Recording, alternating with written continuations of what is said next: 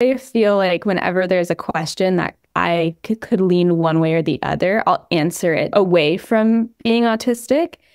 And I really don't think it's because I don't want to be autistic. I think it's like I have this fear for some reason that I'm going to go into this assessment. And because I'm there, she's going to think, okay, this person wants an autism diagnosis. And I feel like I'm going to somehow like manipulate the the assessment to like say I'm autistic if I'm not, which is just like a point of um I just want like accuracy. That's really mm-hmm. what's going on there. So I when I like my first 6 months discovery, I think I retook like the screeners, like the CAT-Q, the AQ, so the RAADS, like so many times. And this time I was like, okay, I'm gonna answer so conservatively.